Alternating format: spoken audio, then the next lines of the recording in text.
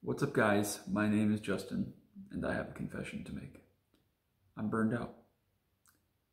I've had a lot of time this past week to think about a lot of things, but it finally hit me this afternoon sitting in my office that was all pretty simple. I, as a person, as a son, brother, friend, at times boyfriend, at times um, employee. I guess there are a lot of things that have been in my life. I've always felt slash put pressure on myself to meet arbitrary goals that were met by myself or put forth by myself or others, and I felt like I had to meet. Whether it be trying to be a great student when I was in school, be a great employee now, be a great family member, whether it be to get a certain amount of content out on YouTube and have some kind of success tied with that, whether it means anything or not, when it comes to sim racing to reach certain goals and thresholds and win championships and races endlessly, to reach certain achievements on the sim, to have a certain iRating number next to my name or a safety rating number tied to that. Whether it's my health, trying to chase never ending growth of lung function to keep my lungs healthy, to prolong my life and keep me functioning as I'm supposed to, or as well as a CF patient can function most of these goals through my life I've met and passed with flying colors and always found that a lot of times it honestly comes easy. Thinking back, I've had a lot of periods where I have struggled with the expectation that's been set on my shoulders, again, mostly by myself, but by others as well. I thought a lot this week after the way that our weekend ended at Road America last weekend about what I was pursuing and why in life. I've had burnout before. I've had periods of conflict and uncertainty and failure, essentially, in my own mind. And everyone does. I don't want this to be a martyr and woe is me, and I don't want to be looked as praise being heaped upon me for being brave, admitting this. A lot of people go through this, they're all brave, they're all heroes. This is just, I'm telling the truth like I usually do. I'm telling it like I always do, like it is. I've had a lot of time, and as someone that's battled these things and a lot of these feelings for a long time, they come from a lot of different places. They come from trying to uphold um, the high mark I've set for myself with my health and CF and being a champion of that community and being a hope for others less fortunate. It comes from being a very successful sim racer. It comes from being someone that's won a lot of championships and a lot of races over a long time. Um, everything I've ever set my mind to, uh, I guess before I get into that, it comes from being a student. I was, once I got my life together and figure out what I wanted to pursue and where I wanted to be, I've always been very smart and very intelligent, hard worker, and I was a fantastic student and an unbelievable test taker. Whether those things go hand in hand, I don't know. But throughout my life, I've always found things when I set my mind to them, come pretty easy to me, usually. I have certain natural talents and gifts like anyone does, and I've been very proud of the fact that I've made the best of mine and made the most of mine and used them for good more often than not. Not always, but more often than not, I've used them for good and for benefit, not just for myself, but for others. And usually, when I get these periods of burnout or fatigue, or I'm just tired of a function of my life, I mask that and cover that up with the other things in my life that I have going on that I enjoy. Everyone, like I said, experiences this burnout, experiences this, these issues and problems and feeling like they're not going anywhere in life. And that's all very normal. That's how life is because we're all doing this the first time ourselves. You get one shot, take it or leave it and you make the best of it with what you got. Nobody gets a do-over, nobody gets a rewind, nobody gets to go back and change any of it. We're all experiencing it for the first time as it happens. That's a beauty and a curse. I mean, that's that's what makes life so beautiful is people only get one shot. Some people shoot for the moon. Some people decide they're going to wait and maybe they wait too long and they don't get their chance. Some people aim the wrong way and fire into friendly fire.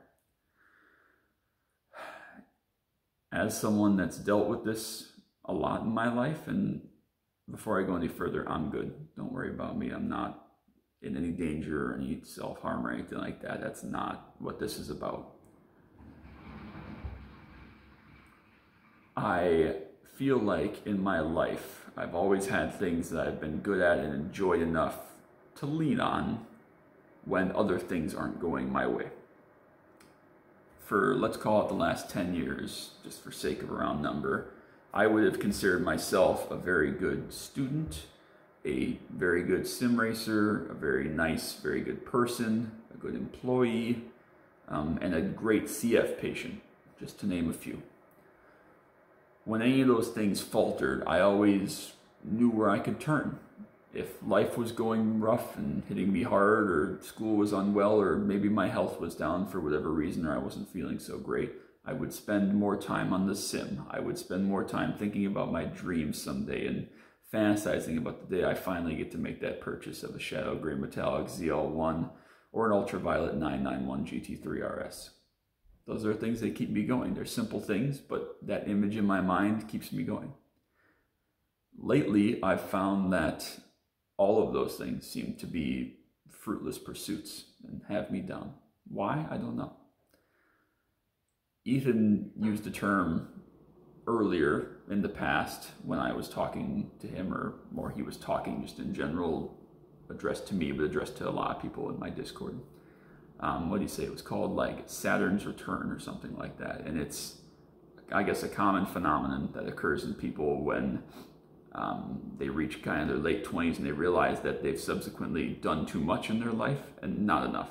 They have a conflict of where you feel like you're trying to cram so much in your life, you need to be leaping forward and keeping up with the Joneses, and you should be the CEO of your own company by the time you're 30, and you need to have all this money and wealth and life and success and hobbies, and you need to have seen the world and all these things, while subsequently feeling like you haven't really done anything with your life, like you've missed it all, but that you're trying to cram too much in. You're trying to do too much at your work. You're trying to do too much in your personal life. You don't have enough time to hit all the things you have to hit to have a healthy, well rounded, successful life.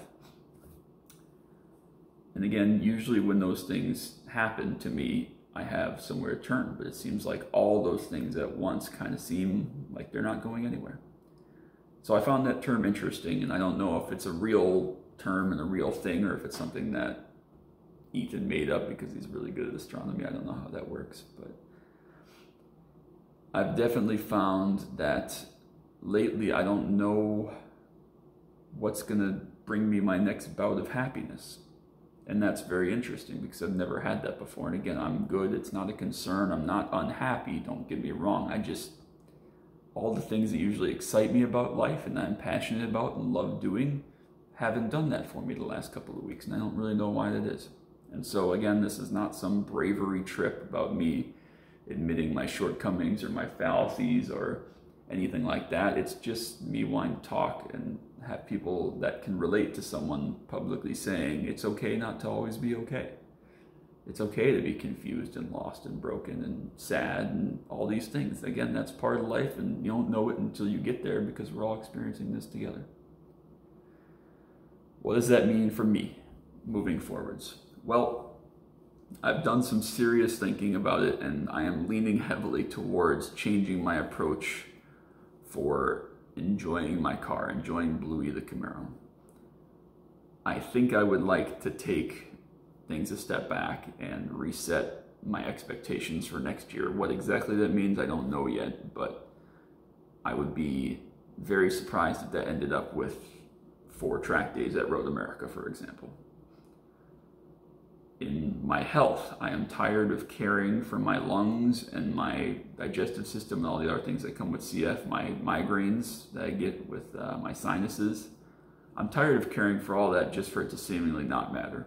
What's going to happen in my life is going to happen, which is a very confusing thing, but I'm tired of all that weighing on me. For my job, I have a couple people that make my job more difficult than it needs to be each day. But I'm tired of putting my all into it to feel like I'm not getting rewarded. And I don't know what that means. This is not me auditioning to have you make me the CEO of your company. But I'm not going to make apologies for the way I feel about things in my job anymore. I'm not going to say, you're trying to do my department for me. We're doing it my way, so this is how it's going to be. And this is how I'm going to move forwards with it. For the sim, I don't know what that means for racing and content creation. If there are fewer races on the channel moving forwards because I'm trying to take time to do other things or do nothing, forgive me. Um, I'm not going anywhere. Again, I am not giving up iRacing. It's been my main hobby for more than a decade now. But if there's less racing going on, I apologize. Please bear with me. There's a lot of things I'm trying to balance and work through and fight through and have to deal with right now. Um, the last several weeks, as I've mentioned, have been so incredibly busy for me between being in a wedding across the country, preparing for this track day, dealing with health stuff and other changes. And it's the past six weeks have been an absolute whirlwind. And now that all that's finally kind of calmed down and I have time to think and get my thoughts straight, I like my head is no longer spinning and I'm going just on the need to keep going. Now I'm just like, well, what what am I doing? What have I accomplished? Why did I put so much effort in all this? Because now I don't have any benefit from any of it. It was just a thing to do. So again, I don't know if there will be less content, less things in my life that I do, if I want to narrow my focus to the things that I do and enjoy for my hobbies, if I want to try to find a new hobby, um, if I need some other kind of fresh start or reset, I don't know. Um, again, hopefully there will still be racing involved because racing is my main hobby, my main passion, whether it's stuff to prepare or new info I have for Bluey and events we're going to do next year. I don't know. I will let you all know as soon as I have a more of a game plan for that, but we'll see. Just need to do more thinking. I hope you understand. And then again, on the sim, there will still be racing. I'll still have my league that's uh, going on, and it's going to be great, and I'm very excited for it. But I don't know what it's going to look like as far as official races, other leagues. It's it's going to really depend on how I feel and what I feel like doing, and it's probably going to be hopefully a lot with friends. I don't have a whole bunch of things I just enjoy running by myself and putting hours of practice into for nothing, but we'll see. Because to put it short, as far as iRacing is concerned, other than my own league and the friends I've made through there, which I'm very thankful and very blessed to have, I don't care about any of it anymore. It doesn't matter. I've done what I had to do. Um, I've talked with some people and they've been like, dude, you're, what am I, an 11 or 12 time league champion. I'm an overall world champion in the points championship chase. I've won races that pay hundreds of dollars to win. I've won thousands of races in my life. It's been a heck of a ride, and I'm 26. I have so much time left to go, hopefully, God giving. But maybe it's time to step back and make a change. Maybe it's time to shake something up and do something a little bit different or not worry so much about what the numbers say or what the outside world says or what everybody throws my way. Maybe it's time just to be me. Whatever that means, I don't know. Maybe it involves all the things I've been doing in the last 26 years. Maybe it doesn't. Maybe it's some of them. But I just wanted to explain where my head's at because I know a lot of people sometimes on the internet and in life in general feel alone. And I don't ever want anybody to feel like that. So please contact me, come to me. Um, it's okay to not be okay. Like I said earlier, it's okay to have these times and struggles and feelings and you just got to find a way to keep going and for each of us that looks a little bit different so i'll find my reason i'll find my way to keep going and i hope you all understand and i'm so thankful and hopeful that all of you will be here when we get to wherever we're going together so that's my thoughts um, i don't know if this is going to mean anything or if this is even going to be published or how that's all going to break down but again i just want to thank each and every one of you for all your support as far as track day content camaro content uh, my life, um, iRacing content. Maybe we'll get into some more Justin's chats. It's been, what, five years now since I've done Justin's chat videos. Those were like the first things that were on my channel with Justin chats. I'd sit down every week and talk about life, talk about things that happened to me, talk about my stories. I think there were 52 of them. So go go look up Justin's chats if you're not an OG and you haven't seen some of those. Some of them are pretty interesting, but some of them are kind of rambly, but that's not the point who knows? But I just wanted to thank each and every one of you and let you all know that I was good and uh, just prepare you for some potential change coming up because maybe it's time I need to look in the mirror instead of trying to look so far ahead that I can't see over the horizon. So maybe I need to look at my own two feet and what I've just done and look right in my immediate circle and start with that. So we'll see how it goes, but I appreciate it. Jeez, I went through the whole thing, 14 minutes, 52 seconds, and now I start forgetting how to English every time. I swear, it never fails. But I promise I do know how to English. But I appreciate each and every one of you. I appreciate if you drop a like on this. Um, if you have someone that you know is struggling or has struggled, share this with them. Um, again, anybody can feel free to reach out to me in any discipline, any form, and just rant to me, ask for help, advice, questions, whatever. I'm very happy to answer and help anyone that needs it.